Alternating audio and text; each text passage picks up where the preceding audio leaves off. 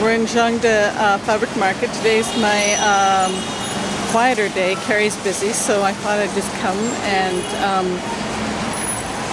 buy maybe a couple treats for myself. So this, we're in a building here, and uh, I think it's about six floors. I'm about to go downstairs and look at all the buttons and trims. I just thought I'd give you a little taste. I'm going to pan up in just a minute because it's starting to get a little busy. Oh, here we go.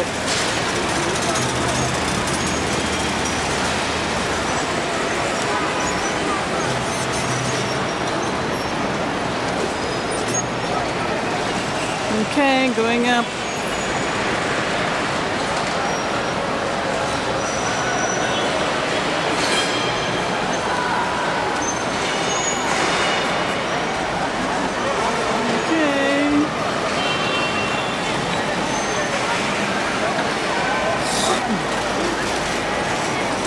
Hope you caught that little commentary. Okay. okay. That's it.